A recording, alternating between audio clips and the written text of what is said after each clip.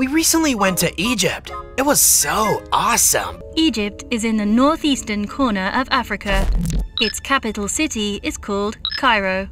The River Nile flows through Egypt from south to north. It's thought to be the longest river in the world, stretching a massive 6,695 kilometers. That is long. Without the River Nile, all of Egypt would be desert. Can plants grow there?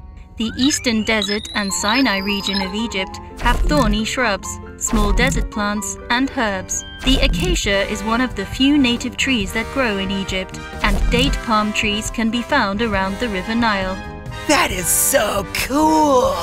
Well, actually, it's hot, very hot, but I can't wait to go back.